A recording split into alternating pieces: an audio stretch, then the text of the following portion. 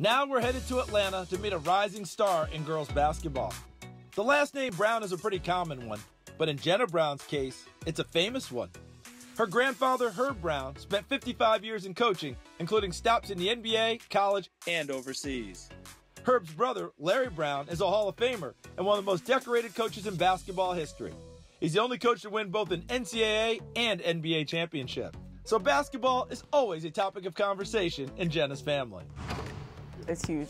Every night, especially during like the NBA season, like it's on. Always talking about it at the dinner table, in the car. We talk it ad nauseum, you know.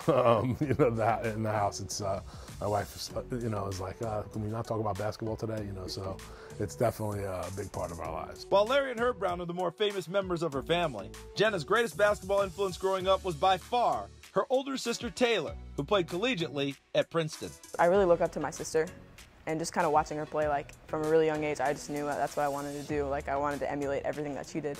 And just like watching games like with my dad it was always just fun for me. I've learned so much from my sister. Whether she realizes she's teaching me or not like she's just taught me so much. Jenna's made taylor and the rest of her family very proud as she's grown up.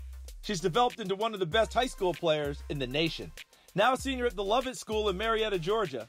Jenna's passion for the game is as strong as it's ever been I wouldn't really say a lot has changed, and, and, that's just really fun for me, and it's a really good way for me to release a lot of my energy. I've definitely started thinking in the game a lot more than I used to. I used to be just kind of like a fun thing that I did, but when I quit soccer in fifth grade, and I kind of just really started focusing on it, like that's when it really became like a passion for me. It was something that I knew I really wanted to do. I've looked, I guess, in my life for other areas that I can kind of get the same high that I get when I play basketball, and I can't find it, you know.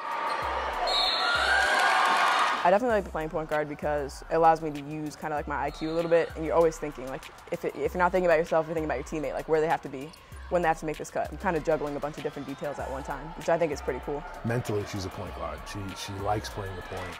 Uh, but she's gotten you know bigger and grown. She, that when she was playing up, she was always one of the smaller kids, but now she's about 5'10", and she's got a, a big frame, so uh, she can play off the ball as well. She likes to go to the basket. She's a slasher. Uh, she's athletic. I definitely like to attack and, and, slash, and I also like creating out of that. I like to go, and I'm not one of those that likes to slow it down too much. I can do that, but um, I definitely have a lot of fun. Whether she's with her high school team, a summer team, or personal trainers, Jenna impresses everyone with not just her work ethic, but also the confidence she approaches each workout with. The first thing I, I, I check out is, is, the mental state of a kid, put them under a little uh, mental stress test. I just like to see where a kid's head is during uh, success and failure. And uh, she's, she's as sturdy as they get. She's uh, headstrong with it, very comfortable within her own skin. You make a mistake, she goes back and gets at it again. It's a lot of drive, and it, it, it, equates to having grit. She's a really hard worker, so kind of makes you as a parent want to work hard as well, you know, because she's she's into it. She's always asking, can we go train? Can we get in the gym? Can we do this? So, you know, when they have a passion like that, it makes it a lot easier as a parent. While basketball is a big part of her and her family's lives, she hopes people know there's more to her than that. She's an excellent student with several interests. And when she made the USA U17 team as a 15 year old, some of the older players decided the highly intelligent youngster needed a nickname. They nicknamed her Encyclopedia Brown because she was always, you know, talking about current events and, and things like that. Uh, I mean, I, I just, I don't know. I know a lot of random facts about random things.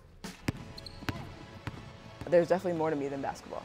That's, I think, the thing, like, especially being an athlete, sometimes you get, like, a stereotype for just being an athlete and, like, that's the only thing you care about. And that's, like I said, a huge, like, a huge part of my life. But, um, I like I'm really I, I, like drawing a lot. Like I like to cook. Like I, I do a lot of different things. Given her drive to learn both on and off the court, it makes sense that Jenna wants a college that will challenge her academically and athletically.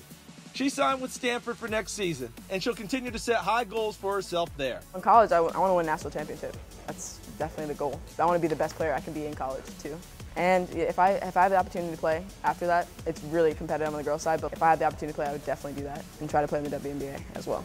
Talented, intelligent, and driven. There's no limit to what Jenna Brown might achieve in the future.